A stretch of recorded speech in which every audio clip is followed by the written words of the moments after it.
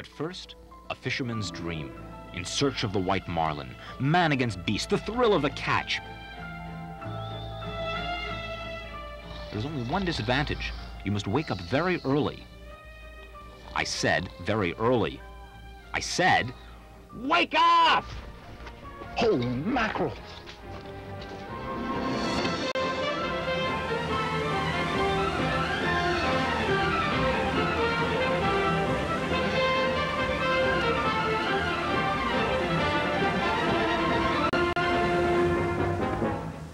Is Ship's Cafe.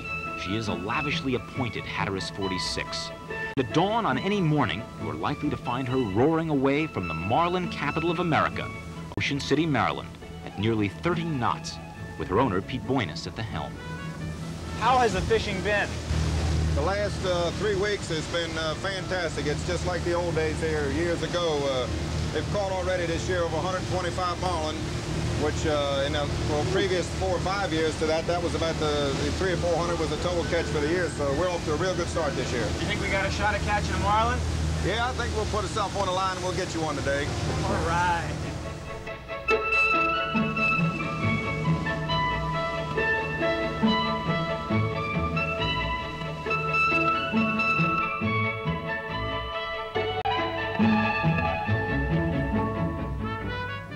Believes that our best bet today is Washington Canyon, about 60 miles off Ocean City.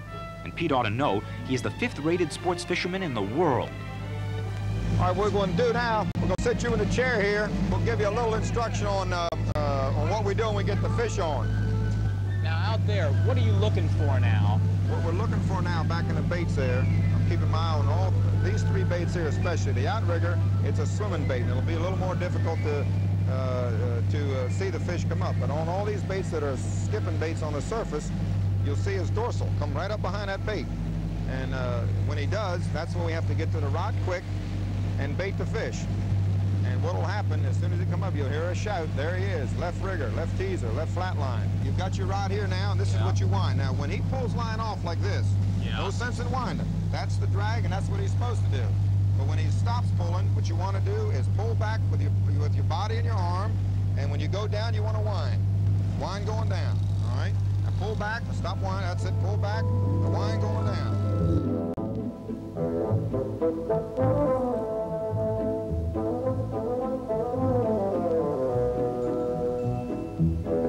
Any second now.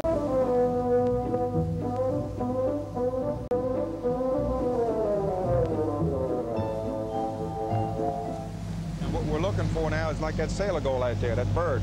Yeah. He's a bird, like, he's what we call, he's a marlin bird. Uh, He's a good sign that You say you say that's a good sign. That's right. When we see those birds flying around, you know, see, they either pick up the residue that a marlin will leave when he kills bait, or what they'll pick up is uh, if a marlin's chasing the bait like flying fish, he'll fly out of the water and he'll come down and grab it. Any second now. Any second now.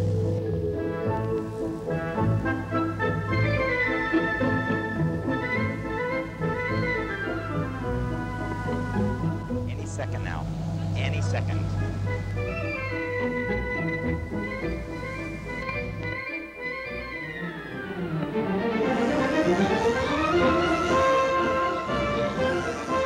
Is it jerking on you, Henry? No, he's holding steady, but he's still pulling pretty tough. It's probably a tuna. A tuna, huh? Where is the little devil? Come on, come to Papa.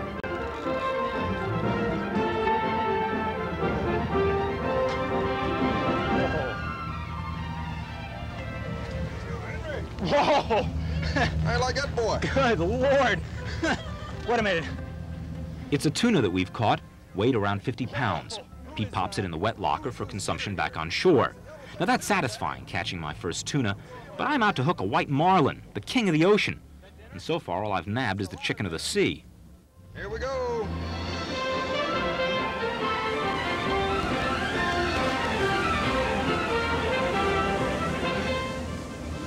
has just gotten word that a fishing boat about six or seven miles from where we've been fishing has spotted six or seven marlin and caught two of them. So now our fishing boat becomes a racing boat. We're racing over to that location to try and get to the marlin before they decide to take off.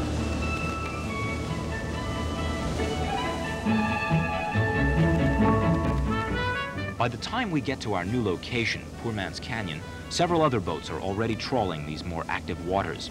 Pete and crew deploy the bait again, and I begin impatiently wondering what all the fun's about. The marlin is a challenge, really. That's uh, that's what it's all about. When the fish comes up there, I guess in, uh, in, in, today's vernacular, they, they turn me on. Uh, it's a challenge. When you get the fish hooked, you know, you cuss them and you have a, a when you when you're having trouble hooking them, they do certain things. Sometimes they feed properly, sometimes they don't.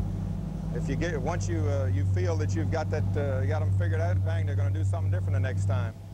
Well, I can understand the fascination in theory, but we have now been fishing for six long hours with barely a nibble, and disappointment is setting in. It is obvious to me that on this day, we will not catch a marlin.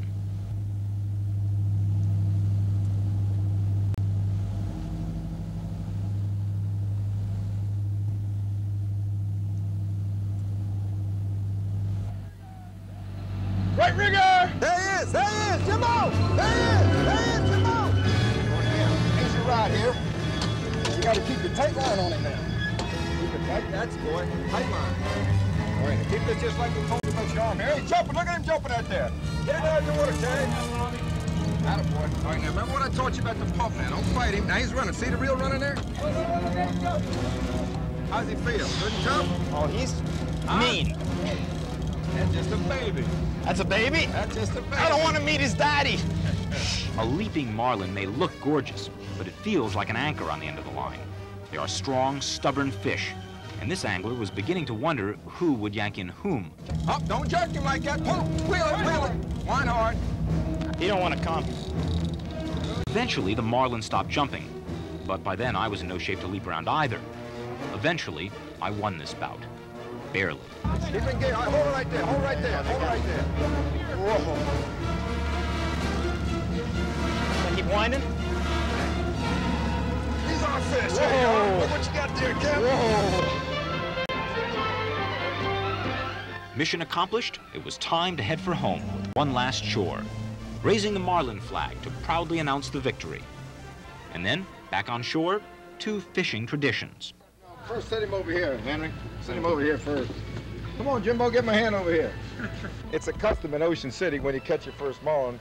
Come on, Dave, we help with a custom. Everybody knows the first thing you do, you take your glasses Uh-oh, off. I'm being set up. Next thing you do, you get a hold of it, man. This water is filthy! I didn't want to catch